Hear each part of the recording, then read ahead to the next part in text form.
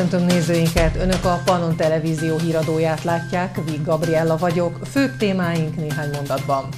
Áttörés a SARS vírusok eredet kutatásában. Hatalmas eredmény a PTE kutatóitól. Eladás helyett vásárolnak. A polgármesteri előterjesztés ellenkezőit fogadták el a pécsi képviselők. Okos pólóval az egészségért. Egyedülálló fejlesztés a Pécsi Tudományegyetemen. Műsorvezetés, interjúzás, pályaorientációs nap a TV stúdióban. Nemzetközi összefogás keretében hatalmas eredményt értek el a Pécsi Tudományegyetem Virológiai Nemzeti Laboratórium kutatói a COVID-19 pandémia eredet kutatásában. Egy rangos folyóiratban nemrég publikált kutatásuk fókuszában Vietnám és a SARS-szerű koronavírusok álltak. Stábunk a kutatásban részt vett biológussal beszélgetett. Hatalmas eredményt értek el a Pécsi Tudományegyetem kutatói a SARS vírusok eredetkutatásban. A szakemberek az elmúlt tíz évben számtalan expedíción vettek részt a világ több pontján, hogy megértsék, honnan erednek, miként működnek, és hogyan előzhetők meg a különféle vírusjárványok. A vietnámi expedícióinknak köszönhetően olyan vírusokat találtunk, amik a a SARS-1 és a SARS-2 koronavírusoknak viszonylag közeli rokonai ezért azt tudtuk megállapítani, hogy honnan is eredhetnek ezek a, a vírusok, a járványok. Ez valószínűleg Észak-Vietnám, Észak-Laosz, illetve Kínának a Yunnan tartományában vannak olyan vírusok ma is a természetben, amik nagyon hasonlóak a a már ismert koronavírusokhoz. Ezt a kutatási eredményt a rangos Molecular Ecology folyóiratban nemrég publikálták.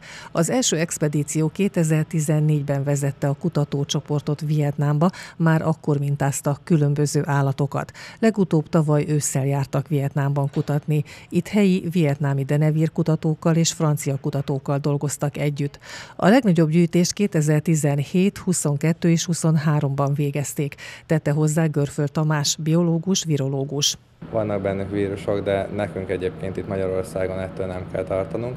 A trópusi denevérekben vannak olyan vírusok, amik átugorhatnak az emberre, hogyha nem megfelelőek a higiéniai körülmények. Tehát például, hogyha megeszik ezeket a denevéreket, vagy állatpiacokon olyan körülmények között tartják, ahol hogy megfertőződhetnek akár házi állatok, akár ö, az emberek. De ö, denevérekben találhatók ezek a, a koronavírusok ebben a régióban, amit most kimutattunk és bizonyítottunk. A kutatási eredmények nem csak tudományos szempontból kiemelkedőek, hanem hosszú távon a társadalmat is szolgálják, mivel hozzájárulnak a jövőbeli járványok megelőzéséhez és hatékony kezeléséhez.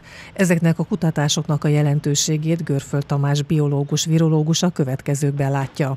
Ezek viszonylag jelentős kutatási eredmények, mert nagyon sok ilyen vírust egyszerre tudtunk elemezni, és ennek nagyobb a bizonyító ereje, mint a, korábbi kutatásoké, illetve mi néztük azt is, hogy, a, hogy milyen denevérfajokban fordulnak elő, és megtaláltuk a, az igazi, az eredeti gazdáit ezeknek a, a SARS koronavírusoknak. A virológus hangsúlyozta, a magyarországi denevérekben nincsenek olyan vírusok, amelyek ilyen járványt tudnának okozni. Ha redőntokban elvétve találunk ilyeneket, ne bántsuk őket. Hiába javasolta a pécsi polgármester egy belvárosi lakás önkormányzati tulajdonrészének eladását, a képviselők éppen fordítva döntöttek. Szerintük érdemes megvenniük az ingatlant, amire most kedvező lehetőség adódott. Ingatlan forgalmi szakvélemény ez a Pécsi belvárosban a Koller utcában található ház egyik lakásáról készült. Ebben tulajdonrésze van az önkormányzatnak. Az új testület első ülésén a polgármester ennek az eladását javasolta előterjesztésében. Ezért közel 18,5 millió forint bevételt remélt a városvezető. A polgári oldal szerint inkább meg kell venni az ingatlant a többi tulajdonostól, hiszen üzleti szempontból ezért érné meg. Végül az érvek hatottak, az eladásból vásárlás lett, ezt támogatta a képviselők döntő többsége. Ez ugye viccesen mondhatná, nem osztogatnak, hanem fosztogatnak. Mi most pont az osztogatás ellen, pontosabban a fosztogatás ellen próbáltuk rávenni, megvilágítani a várost eddig vezető képviselőtársaink figyelmét. Úgy néztük sikerrel is, hiszen a végén az egész előterjesztés 18 igennel fogadtuk el. A képviselő azt mondja, nem szabad elkútyavetjelni egy ilyen piacilag értékes ingatlant.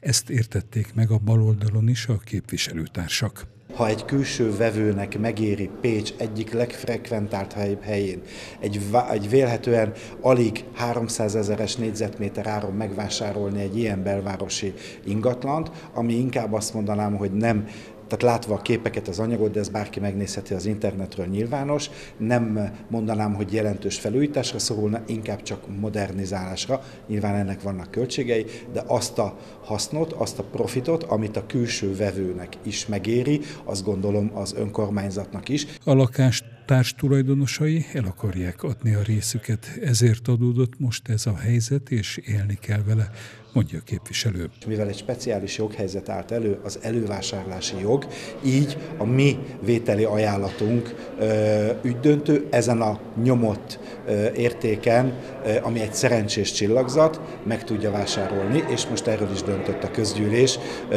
okosan, szerintem, a kép, többi képviselőtársainkkal. Tehát Pécs vagyona nem fogyott, hanem gyarapodott.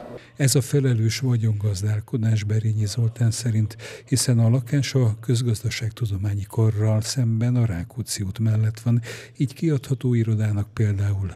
A vásárlást ellenző képviselők szerint az eladásból befolyt pénzt kellett volna más önkormányzati lakások felújítására fordítani. A vétel mellett érvelők szerint hosszú távon több mint 18 milliót hoz a megvásárolt lakás, amiből lehet fejleszteni. Egyébként Egyébként egy 139 négyzetméteres lakásról van szó, amit most 38 millióért vehet meg a Pécsi önkormányzat. Rövid híreink következnek. Végső nyugalomra helyezték a múlt héten elhunyt Potápi Árpád János nemzetpolitikáit felelős államtitkárt Bonyhádon. Mint ismert, október 17-én életének 57. évében tragikus hirtelenséggel elhunyt Potápi Árpád János, a miniszterelnökség nemzetpolitikáit felelős államtitkára. A néhai politikus temetése október 24-én volt a Bonyhádi Evangélikus temetőben, ahol római katolikus szertartás szerint helyezték végső nyugalomra. A temetésre jelen volt Orbán Viktor Magyarország miniszterelnöke is. A Pécsi Egyházmegye társvédő szentjére, az ezer évvel ezelőtt élt második püspökére, Szent Morra emlékeznek liturgikus emléknapján október 25-én. Emlékét számos műalkotás őrzi Pécset és Panonhalmán, továbbá az ő nevét viseli a Pécsi Szent Mór iskola központ is. Az ünnep alkalmából 18 órai kezdettel Felföldi László Pécsi megyés püspök celebrál ünnepi szentmisét a jelenlévő papsággal együtt a Pécsi Szent Péter és Szent Pál székes egyházban. Az ünnepen egyházmegyei kitüntetéseket adnak át. A Pécsi Önkormányzat november 5-én tartja idei közmeghallgatását. A polgárok a város honlapján közétett szavazáson három téma közül választhatják ki azt az egyet, amely a közmeghallgatás kiemelt témaköre lesz. A pécsiek így közvetlenül dönthetnek arról, hogy a Pécsi Aquapark projekt a klímasemleges város kialakítását célzó Net Zero Cities program vagy a Pécsi Minimum első pontjának meghatározása legyen a közmeghallgatás kiemelt témaköre. Az online szavazás szavazás október 27-én éjfélig tart. Minden Pécsi csak egy szavazatot adhat le. A közmeghallgatás november 5-én kedden tartja a Pécsi önkormányzat. Okos pólót fejlesztenek az egyetemen Pécset. Olyan érzékelőket építenének be a ruhadarabba, amik fontos és nagy pontosságú élettani adatokat szolgáltatnak az orvosoknak. Ezek alapján akár gyógyszeres terápiákat is indíthatnának a szakemberek. Okos órák, okos telefonok, olyan eszközök, amelyek képesek mérni az aktivitásunkat. Ezek ma már a mindennapi életünk részei, amikkel például a pulzusunkat tudjuk mérni, illetve más paramétereket. Azonban ezek az adatok az egészségügyben nem elég megbízhatóak. Ott orvos szakmai döntéseket kell megalapozni, Következésképpen azok az eszközök, amikkel gyűjtjük ezeket az adatokat, az előbb elmondottakon túl még akár vérnyomásértéket is tehetünk ide, testhőmérsékletet, és lehetne folytatni ezt a sort egészen az EKG-ig. Ezeknek egészen pontosnak kell lenni, annak érdekében, hogy valóban orvos szakmai döntéseket alapozhassanak meg. És ezt a kettőt, hogyha kombináljuk, akkor bizony ezen aktivitásmérőköz képest kell megtalálnunk azokat a szenzorokat, azokat a csipeket, amelyek ezt nagyon nagy biztonsággal tudják mérni, olyannyira, hogy akár gyógyszeres terápiát is lehet rájuk alapítani. Éppen ilyen nagy pontosságú, több élettani jellemzőt mérni tudó szenzorokat keresnek, fejlesztenek a Pécsi Egyetemen. Olyan érzékelőket, amiket beépíthetnek a napi ruházatunkba, a sapkától a pólón át a cipőig, de akár már meglévő okos eszközeinkbe is. Fejlesztéseink tulajdonképpen arról szólnak, hogy keressük azokat a legjobb szenzorokat, csipeket, amelyeket valamilyen ruházatba, akár egy okos pólóba, tehát egy pólóba, amit naponta használunk, be lehet építeni. Ezen dolgozik a munkacsoportunk jelenleg, illetve egy másik nagyon fontos kihívás, hogy ezeket az adatokat, amelyek megkeletkeznek ott a beteg környezetében, azt kellő pontossággal lehessen továbbítani oda, ahol ezekre majd elemzés fog várni. Tehát ezt a két komoly technikai kihívást igyekszünk valamilyen optimális módon megoldani. Vagyis olyan titkosított és megbízható csatornán keresztül legyenek továbbíthatók ezek az adatok, amikhez nem férnek hozzá illetéktelenek. Ez akár civil, akár katonai hasznosításra is alkalmas lesz. Az érzékelők ma már sokféle mintából tudnak adatokat kinyerni élettani paramétereinket tudjuk monitorozni széles körben, ahogy említettem is, tehát akár pulzusszám, légzésszám, EKG, véroxigéntelítettség, egyéb más mérhető paraméterek. Másfelől most már kinyílt egy olyan terület, ami úgynevezett biomarkereket képes mérni, tehát akár non-invazív módon is izzadságból, egyéb testváladékokból képes valamilyen módon valamilyen komponensnek a meghatározására, ami segíti az orvos szakmai döntéseket. A folyamatot később a mesterséges intelligencia is segítheti, hiszen az így keletkezett adatbázisok elemzésével olyan applikációk születhetnek, amelyek az átlagfogyasztó számára is könnyen értelmezhetővé tennék az adatokat. A jelenleg fejlesztés alatt álló okos póló prototípusa várhatóan a jövő év tavaszán készül el. Rövid híreinkkel folytatjuk a híradót. A tőkepusz járatai október 28-a hétfő és 31-e csütörtök között az őszi tanítási szünet idején az őszi menetrend bevezetését megelőző nyári munkanapi menetrend szerint közlekednek. A várhatóan megnövekvő temetői forgalomhoz igazodva november 1-én pénteken és november 2-án szombaton az őszi menetrend szabadnapokra érvényes kiírása szerint közlekednek az autóbuszok. A busztársaság arra számít, hogy a minden szentek és a halottak napjához közeledve mind többen indulnak útnak autóval és autóbusszal is, így a sírkertek közelében várhatóan jelentősen megnövekszik a forgalom. A Tükebusz ZRT ezért fokozott türelmet, óvatosságot és odafigyelést kér minden városban közlekedőtől. Izgalmas nyomozás és finom falatok is várnak azokra, akik október 31-én a Pécsi állatkertbe látogatnak. A zó erre a napra elvarázsolt birodalommá változik, ahol feltárulnak a sötétben rejtőzködő állatok titkai. A látványetetések délután egy órától folyamatosak lesznek, az etetések közötti szünetben pedig izgalmas nyomozás vár kicsikre és nagyokra. Természetesen nem marad el a jutalma annak, aki elég bátor, hogy utána járjon a titokzatos kérdéseknek embereknek, és az este ijesztő, veszedelmes alakjaival is hajlandó szóválni. A rejtély megoldásáért egy kis édesség vagy ajándék jár. A Pécsi Állatkert Halloweeni programjáról további részletek a Facebookon találhatók. 22 lelkes hatodikos ismerhette meg egy televízió működését ma a stúdiónkban. A pályaorientációs látogatás keretében kipróbálhatták a műsorvezetést, megismerkedhettek a különböző programokkal, amelyek nélkül nem születhetne meg egy adás, és még interjút is készíthettek egymással. Ezek mellett van horvát magazinunk, azt a Ramona csinálja, Pályaorientációs nap keretében ma különleges kis vendégeket fogadtunk a Pannon Televízió stúdiójában. A Koch Valéria általános iskola hatodikosai egy délelőtt során megismerkedhettek a televízióval, és megnézhették, hogyan készül egy híradóadás, vagy akár egy magazinműsor. Ketten vagyunk itt, a Koch Valéria iskola központban érkeztünk, mi a hatodik A vagyunk, és ma a pályaorientációs nap alkalmából vagyunk itt, Ma nagyon érdekes programjaink voltak, betekintettünk a vágószobába, hogy épül fel egy műsor, illetve az anyag beolvasást is kipróbáltuk, beülhettünk a híradószékbe, szóval nagyon érdekes volt, én elvesztem. A gyerekek kipróbálhatták a műsorvezetést, betekintést nyerhettek egy televízió mindennapjaiba. Szakmai szempontból elmagyaráztuk, hogyan is áll össze egy adott műsor, mi alapján választunk témákat. A stúdiózás mellett interjúkat is készíthettek egymással. Mentünk oda a vágó szobába, ott bemutatta nekünk a Miki a, a nagyon érdekes vágóprogramot, Utána bementünk oda a stúdióba, ott na, nagyon, de nagyon szuper volt, azt tetszett nekem a legjobban, és nagyon jól, éreztem, nagyon jól éreztem magamat. A Német Nemzetiségi Iskola diákjai megismerkedhettek a green screen-nel, és bejárhatták a televízió különböző tereit. A súgógépről való olvasás és a híradó műsorvezetése bizonyult a legnépszerűbbnek a kiskamaszok körében. Beszélgettünk, meg felolvashatunk szövegeket. A látogatás végére valamennyien feloldottak, és jó hangulatban indultak vissza a Tiborc utcába. A régió híreivel folytatjuk.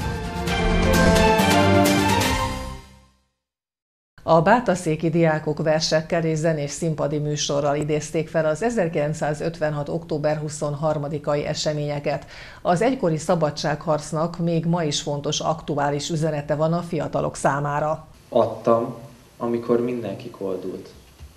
Röhögtek mindenem, én sírtam.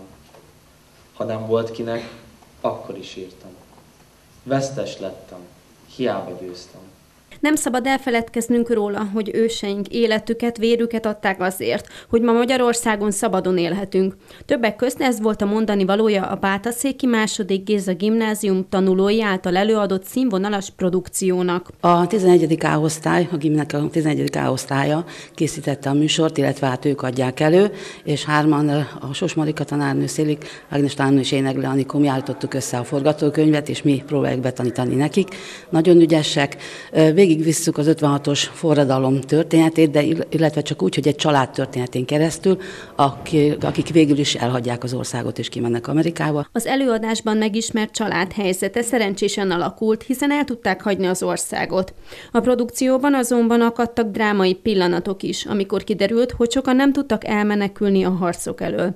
Közel 20 gyerek dolgozott a műsor sikerességéért. Jönnek a forradalmárok, a tüntetők, akkor zászlóval azok skandálják a 16 pontot, tehát hogy mindig ilyen váltó verzióban lesznek a gyerekek, és az éneknél meg fönn van mindenki, tehát mind a 20 gyerek. Péter Oliver volt a főszereplő. A családban az apa karakterét játszotta el, amit nagy kreativitással és tehetséggel oldott meg. Elmondása szerint a próbákon is mindenki igyekezett a lehető legtöbbet kihozni magából. Haló? Anya, itt az amerikai rokonok vannak a telefonnál. Nem mondj nekik semmit, jó? Lehallgatnak az ávósok. Szerintem mára már azért összeállt a műsor, de a jeleneteknél, hogy ki mikor megy be és ki mikor megy ki, ugye nem vagyunk profi színészek, ezért voltak ott megakadások. A produkció végén a tanulók közösen elénekeltek egy meghitt bensőséges dalt, ami mindenkiben tovább erősítette az emlékezés, a hála és a szabadság fontosságát. Álljunk bele, ha kell, bármi jöjjön Őszi Fesztivál Újdombóváron. A felvonulás színpadi programok és a vásári forgatag ismét sok helyit és környékbeli látogatót vonzott a minden évben népszerű rendezvényre.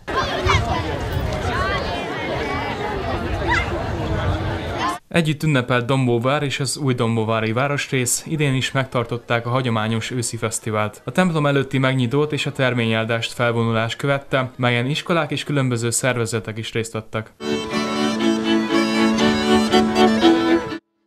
Az előző évekhez hasonlóan a szervezők igyekeznek minél jobb, minél újabb műsorokat megszervezni, és egy fergeteges hangulatot létrehozni ezekkel a gondolatokkal. Én azt gondolom, hogy nagyon sokan kilátogattak ma is. Ennek kedvez ez a szép őszi idő, hisz ugye ezt a rendezvényt már két héttel előtt, előbb szerettük volna megrendezni, akkor az időjárás sajnos nem kedvezett, ezért módosítottunk az időponton. A fesztiválon és a Dombóvári értékek standjánál különböző finomságokat is megkóstolhattak a kilátogatók. Itt a helyi értéktárbizottságnak a standján vagyunk, és a Rákóczi turos lepének egy ilyen street foodos változatát készítettünk, egy fantáziát, hogy mégis aki úgy gondolja, akkor meg tudja kóstolni. Valahogy ezt az ízvilágot próbáltuk átadni, mint az eredeti lepénynél. Valószínű nem sikerült, de, de azért valami van belőle. A szervezők különböző színpadi műsorokkal is készültek. Az őszi fesztivál hangulata idén is kiváló volt. Egyéb a legszebb lány több ezer családnak segíthet a télen a Magyar Máltai Szeretett Szolgálat pályázata a felzárkózó települések programban. Az elmúlt években a humanitárius szervezet 20 napelemparkot létesített országszerte, amelynek árambevételeiből hátrányos helyzetű szociálisan rászoruló családokon segítenek. Idáig több mint 20 ezer család téli fűtését támogatják. A Magyar Máltai Szeretett Szolgálat négy évvel ezelőtt kísérleti jelleggel épített Tiszabőn napelemparkot. Az ott termelődött áram 70 család téli fűtését könnyítette meg. Tiszabőn ez egy kísérleti program volt, de utána még miután a visszajelzések megszülettek, és kiderült, hogy ez milyen jól működik, utána, utána, utána, utána ebből egy országos program lett, és minden helyszín mellé nem tudunk naperőművet építeni, de és ezért így a helyszínek tulajdonképpen a, a, a inkább szimbolikus jelentőségűvé váltak. Azóta 20 településen 21 szociális naperőmű létesült uniós forrásból. Mára mindegyikük termel, az így befolyt összegből pedig a szeretett szolgálat számos szociálisan rászoruló családnak tud segíteni a téli időszakban pályázati felhívás hetekkel ezelőtt megjelent, és több mint 600 esetben sikeresen elbírált pályázatról beszélhetünk már, tehát ahol a családok már tudják, hogy ők támogatásban részesülnek. A támogatást viszont nem pénzben adjuk oda a családoknak, hanem előrefizetős mérjórára feltöltött egyenleg formájában. Eh, ahol nincs előrefizetős mérjóra, egyébként sok helyen van, de ahol nincs előrefizetős mérjóra, ott az előrefizetős mérjórának a beszerelése még egy ilyen szükséges tennivaló, amit, amit, amit, amit meg kell oldani. Ezt ugye az áramszolgáltatótól kell kérelmezni. A, a rászoruló településen, vagy a rászoruló családok a döntő többségük védendő fogyasztónak minősül a helyzetük folytán, és akkor térítésmentesen kapják ezt az órát. Ha valaki nem kapja meg térítésmentesen, és fizetnie kellene érte, akkor a Magyar Máltai Szeretett Szolgálat megfinanszírozza ennek a költségeit. Ötvöskonyiban is létesült napelempark, amely nyáróta áramot is termel. Itt jelenleg két család tud majd élni a támogatással. Ebbe a kis szobába szeretnénk a panel arra falra, ide mert elvileg a falon lesz, és mert itt fönt nincs lehetőség fűtésre, igazából csak árammal tudunk itt fűteni. A hamarosan érkező norvég fűtőpanel helyét mutatja Somogyin és Sas Szilvia. Otthonukban nyolcan élnek. Nagy segítség számukra a Magyar Máltai Szeretett Szolgálat zöld fűtés pályázata, amelynek keretében októbertől áprilisig segít a rászoruló családok fűtését.